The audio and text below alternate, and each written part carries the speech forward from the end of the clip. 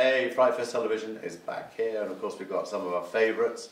They're in FrightFest Glasgow with L'Arrivo di Wang, and actually they're here with that too, plus their new film Paura 3D. You're the first people I think we've had at FrightFest who's actually had two films playing at the same time. All 13 editions? Yes. Wow. so that's pretty good going. Yeah, and of course, yeah. we liked Arrivo di Wang so much that we put it on again. Yeah. Because it got, you know, people really liked it in Glasgow, so we thought let's put it on again. But you're actually here mainly, I think, for Paura 3D yeah. for us. So go through the whole story. So while you were waiting for the uh, special effects to be completed on Arrivo di Wang, you made another film because that's the Yeah, way you are. We don't, Yeah. we don't, we don't know how to, we, we, we don't like to be still, mm, they're doing nothing.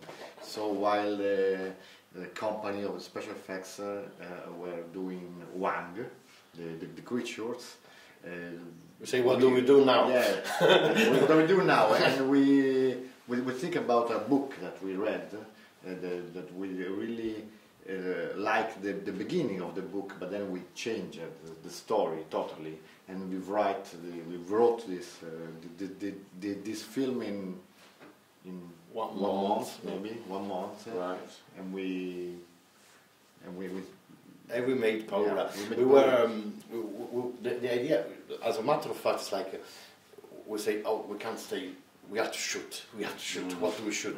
And, and then we, we remember, uh, I don't know if you remember Robert Zemeckis, Oh, of course. that is one of our favorite director, that when, when he was shooting Castaway, he had to be waiting for it one year to, to, for Tom Hanks to get slim because you remember Oh, the beginning right, of the movie is right. fat, Right. then he gets slim, and he said, "What do I do now?" And he shot uh, What Lies Beneath. Right. What Lies Beneath is a movie Zemeckis shot just to pass the time to wait for Tom Hanks to get slim. It looks it, doesn't it? Yes. I hope it's not the same for Paura. so we say, let's do like Bob. Right. Now it's very similar. I mean, all your films. I mean, they, you know, it's, it's one set. Okay, you've got you Yeah. open Paura with like you know they're outside, you know the, the, the, the guys in Rome, blah blah blah. But it is But mainly end, one yeah. set, isn't it? I mean, Yeah. do you prefer that to be contained? You know what? It's like we noticed with Paura because it was the third in a row like that. Yeah. But we don't know. It's something in our subconscious, I think. I, I don't know. There are two things in common in all our films, uh, and it's uh, one set and somebody is prisoner. Uh, it's captive. It's mostly tied. In Piano 17 they are not tied because they are closing a lift. But I don't know. There's something about claustrophobia and captivity that probably of course is in our brain. Maybe it's uh, our psychoanalyst that should explain that. Mm. yeah. So you're claustrophobic masochists, is what you're basically saying. Yeah. Claustrophobia porn. It's the new genre by the Manetti Brothers. of course, I think that low budget needs maybe just one location, few actors. So maybe, the, but we have something that uh, we really like. This kind of stories. It's not just because of the budget, but because we really like to, But even as spectators, I think. Is, yeah, even as spectator. Mm. Yeah. When we when we see there is a new film, uh, you know, so uh, Boring. boring.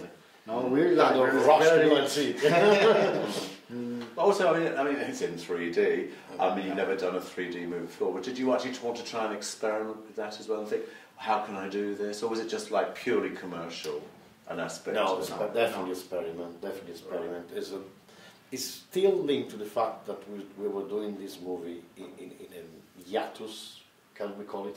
You know, in a, in a I, I don't know. the- time frame that we had nothing to do because we were waiting. Oh, I see. Yeah. So I thought we thought this was Oh, hiatus. Hi- hiatus. Right. I'm sorry. Sorry. I always read it. I never heard it. Oh, yeah, hiatus. hiatus. Now I know. so because it sounds Latin, so I say Right. uh, so maybe that's part of the fact we, we thought since we are preparing another movie that we are so convinced to let's experiment and uh, we, we like 3D not I noticed that not many of our colleagues like 3D uh, for example Nolan refused to do Batman in 3D uh, Even and we like it. Yeah. Uh, As a, me, for me, when I see 3D on a, Hmm. it kind Makes of yeah.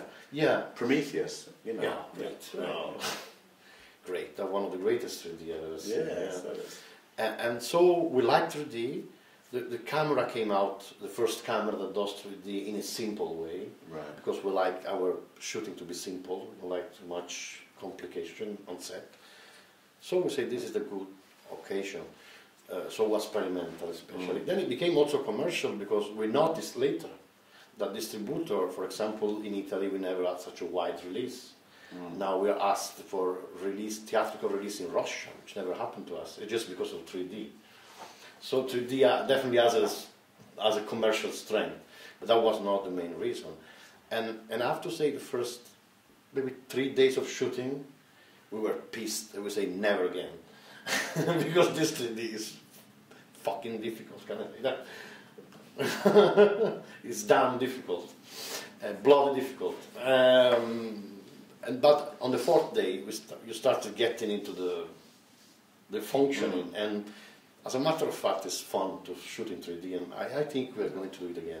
Yes. Yeah, I think so. If, uh, the right movie. uh, yes, the right movie maybe. And, uh, Because you said on the stage yesterday that you know you found creeping through the corridors, Yeah. especially downstairs Yes, in the cellar. course. That was what you really wanted to do. You Yes. wanted to bring that eff- effectively yeah. into. You know. I think it gives a lot to the claustrophobia because uh, if you if a corridor Right. becomes like the, the continuation of the theater, Right. it's like all the audience is closed with Sabrina in, inside the, the, the basement. So yes, I think this is the right movie. For example, now we are going to shoot a, a cop movie that takes place mostly in the streets, and I don't think 3D Mm. is the, the right solution for that kind of movie. But another contained movie, I think 3D. Absolutely. yeah, think because uh, uh, often uh, the 3D for uh, American uh, films uh, is, is they're really fa- edited very fast, uh, and so it's something strange, you know. But I think the Paura is a slow film. So you can a absorb atmosphere, it better. Yeah. and that is better. It's much better to do In like fact, like Prometheus. No, Yeah. Prometheus is, is a, it's not um, just very slow action movie. movie, you know. And I think this, uh, this the best is maybe uh, if you do a cop movies uh, with uh, cards, uh, it's, your eyes. Uh, I think it's very, Get very tired hard. of to 3D, get yeah. tired. Yes. No, I mean one of the themes that comes through Paura, of course, is like, like I mean, you know, Sabrina's a hostage. She's been, she's been Yeah. abducted. In fact, if people Yeah. stay through the credits, they will see the very moment Yeah. from which she is abducted. So, and then you know, it's like, then, but then it sort of almost becomes like a Stockholm syndrome where she can't reach. She becomes to rely on the only person. So that's what Yeah. you actually move into in the second part of the film. Yeah, but That she doesn't really want to break away because she Yeah. doesn't know anything. she's scared of breaking away. Yeah. I think. I I think it's um, okay. That's the main message of the movie. Message is not the right word. It's like a study on what a mind can become in that situation. And I think uh, it's not even Stockholm syndrome. It's like more, because Stockholm syndrome technically is when the the hostage falls in love. Mm. And I think in this case, because she was a baby when she was kidnapped, it's more than love, is a universe.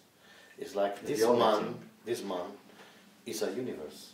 And his man told uh, stories that, if you think about it's like religion in our world. She told her that there's an ogre of a boogeyman uh, outside the, the basement, and if she goes out, she will be killed. And she believes it because it's the only person that talks to her.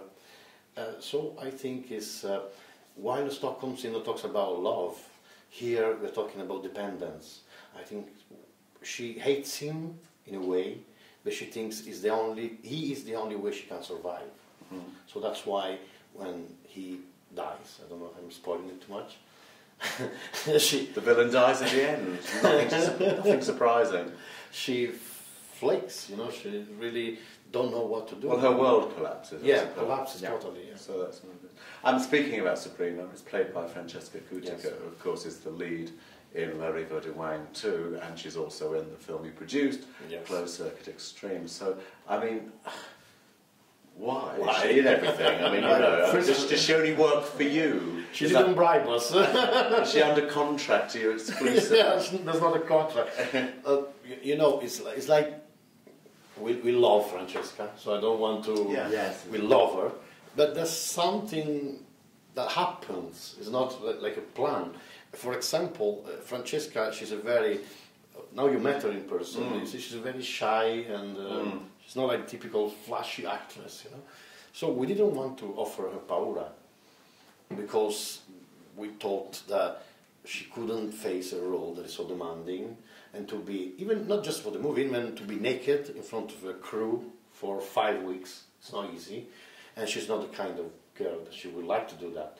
Uh, so at the beginning, we, we did a lot of auditions, and nobody was convincing us. And at one point, now I'm talking specifically of Paura, why Francesca is on Paura, we realized that to get the best from a role like that, you need to have an actress that 100% trusts you. So it was better to work with an actress that we were working knew. a lot in that moment. So she knows what we want, we know the limit she can pass, and I think it was a great choice for that because I think Francesca did quietly incredible things. Even you know, even in hygienic way, hygienic. Hygienic? Yeah, because we You shot, mean she we shot the movie. Yeah, no, we, we shot the, we shot the movie in a real In a real basement, basement, Right. full of rats and things. That she was com- totally naked, uh, crawling. There's a one part she Yeah. crawls, and for her, she just did it. And I think, I don't know if this is a declaration of love of a director and an actress. I think she did it for us. You know, I don't think she would do it for mm, anybody She else. She didn't. She did it for the money, really. For the money, you think? so? I don't think so. I didn't think about it. Sorry, I hate to ruin your illusion, but that's why she did it. No, no, no. and also, you've got. I mean, you know, I remember you told me that you wanted to sort of have the, the, the, guys, the three, the three boys, and they want you, you wanted them to sort of sound authentic. And of course, originally you were going to be planning to shoot in, in Turin, and then you were going to be Yeah, filming. And so, you know, you're in Rome, and then they've got to have that authentic accent. So, you know, that that sort of changed a lot too, didn't it? The actors. Yeah, yeah. We, we at the beginning, we, we, the movie was written for Bologna. Mm. Then we say, let's go and shoot it in Torino. Then we decided to be home in Rome, Right. and we did three different cast, different castings because we, we co- concentrated on Bologna first. I still have some Bologna actors sending me text message on my phone. Oh, you never asked me back." for that. and, and at the end, I think. Uh, I, I just say something you know, summarized.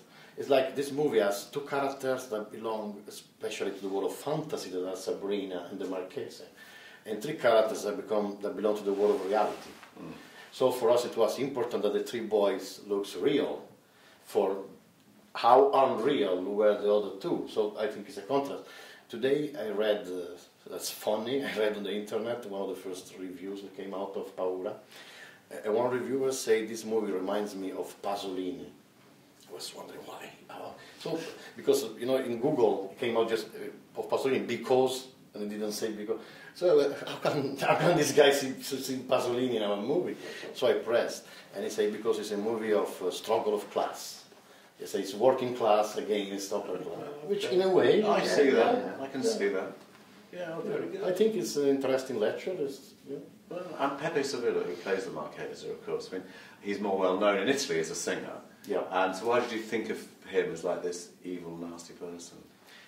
He is not a nasty person at all. It's because of his He's a face. Very, yes, he's a very nice person, very elegant, very. But there's this face, and when he when he when he see he's the uh, the brother of, of uh, Toni Servillo, Tony a very famous actor, but he's not an actor. Sometimes he acts, but he's not an actor. But when he sings, he uh, he, he, he moves his face like it, it, it, it- It's scary. It's scary, and so we we think we can be a really good. Uh, uh, Bad guy. bad guy, and uh, and it's strange. It's, it's cold, you know. It's very cold without Mm. feelings, and really like what. And, and when we met him, we were a bit. First of all, we were feeling strange because I, I don't know if you're familiar with the kind of singer Peppe Servillo. is. he's a very classy Italian Napolitan song singer. Well, like Nico Fatenka for those that time? Yeah, yes, but Gianni Morandi, more like Paolo Conte. Paolo Conte. Yeah, very classy.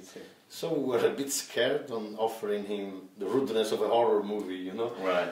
Instead, he just plunged himself into the horror and he was doing decapitation scenes and, uh, you know, without blinking an eye. And that was incredible for us because in Italy it's famous for elegance, you know. And, uh, and another thing is when we met him, he's the most gentle, nice person in the world. So we were a bit scared. You know, when you know him personally, say, oh, okay, this guy is not going to scare anybody. He's too gentle. But then I think on, on, on screen, that gentleness kind of disappeared. yeah. Mm. Listen, got to wrap it up, but tell me a bit more about the cop movie then. When did you start filming this and what's it called? And have you got a good title for it? That's what we need to know. Mm. Yeah, you have to help us with titles. Yeah, know. I want to be on. Seriously, wait, are you going Will to you film? come? I will come. Promise. You're going to film in Rome? Yeah. Then I'm No, in Napoli. Oh, Oh, It's one hour from Rome. Okay. Yeah, you can do it. Oh, God, but what about the traffic? If you are going to film in traffic, it's going to be a Oh, nightmare. we want to shoot Yeah. in traffic. In fact, For, the reason, everybody, for that reason. When we went to Napoli for scouting, the, uh, the, the, the scouter, the, the people that work in cinema in Napoli, they tend to bring you when there's no traffic. They say, oh, we here you can shoot. Right. No. so if we want to make a movie about Napoli, we should show the Shoot in traffic. the middle of the traffic jam. So we already put them in. They say, no, you can't do it. Yes. so that, that then we want to go to the Camorra zones. And They say, no, let's do another zone. We are a little bit like that, you know. And it's a movie about, um, it's a cop comedy that we want to make it as action as we can, even if it's a little bit comedy.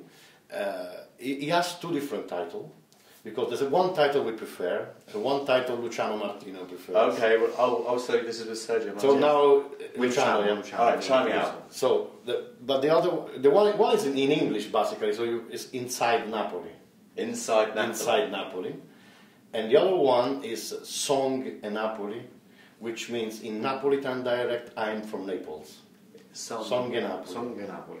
Song is not I don't tell you which one is our favorite. Inside Napoli, I prefer. inside Napoli. Because it reminds me of like, you know, Roma, Città Viglianta and those, those sort of Yeah, in fact, yeah, because I think it, want, it wants to be on that line a little bit. Yeah, that's what you need to um, do. Yeah. Oh, So we want to fight with Luciano for So- inside Well, Napoli. everyone heard it first then. Inside Napoli. That's what we want to hear. Thank you very much. Thank Thank you. You.